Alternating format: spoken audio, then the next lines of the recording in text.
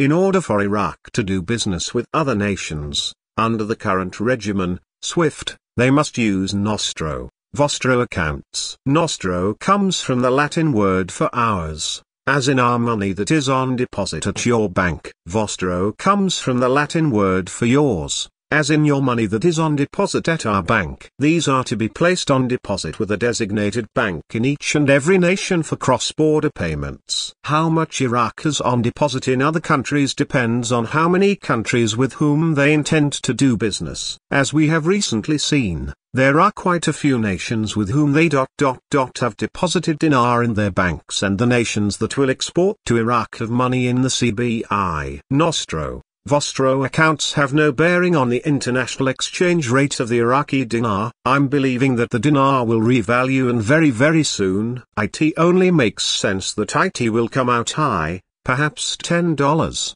and they will allow IT to settle. This gives Iraq a big advantage for buying reconstruction materials and paying contractors and then allow IT to settle downward to reach around $3.90, $4.20.